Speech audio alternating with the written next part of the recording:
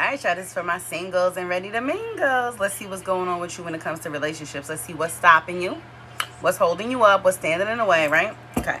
Unclear clouded judgment. So, third eye a little foggy. Renewal, revival of a situation, the debate, contemplating, thinking it over. What goes around comes around, karmic cycles, satin, sexual desires and cravings, and intuitive guidance and inner knowing.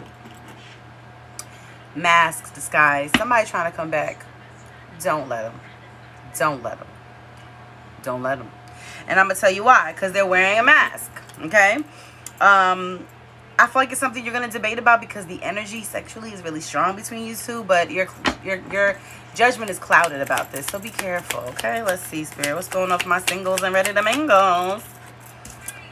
Unspoken, unsent messages and the purge. Ridding toxicity purified. telling you don't let this person come back. They keep coming back. They keep coming back. Trust your intuit your intuition, okay? Trust it. Trust it. You feel it. You know you feel it. The one, true love, vulnerable hearts. Stop. Stop.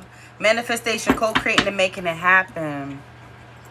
Apology, forgiveness, high vibes, happiness, mutual shared feelings, betrayal. They betrayed you. Soulmate. All right, I get it.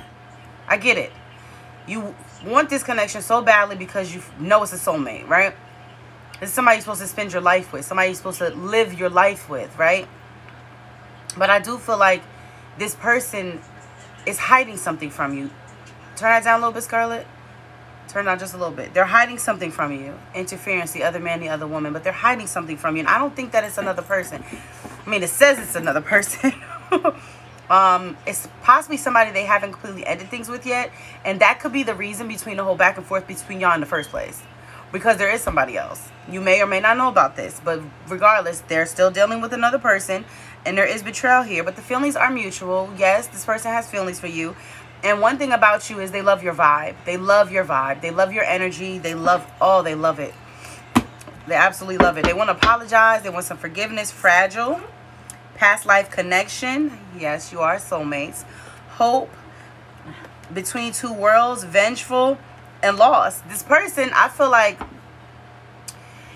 they make you feel like in this place where you're not quite understanding things. It's a very fragile situation though, all right? You have a lot of hope for, but this person is caught between you and somebody else. And the vengeful part, like eventually that's what's going to happen because this person's going to leave you feeling lost.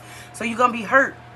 You're going to be hurt and you're gonna want revenge, and you, you and you're gonna want them to feel what you felt, Frust frustration, and sacrifices. Right? What more are you willing to sacrifice to have this person in your life? Let's go to part two.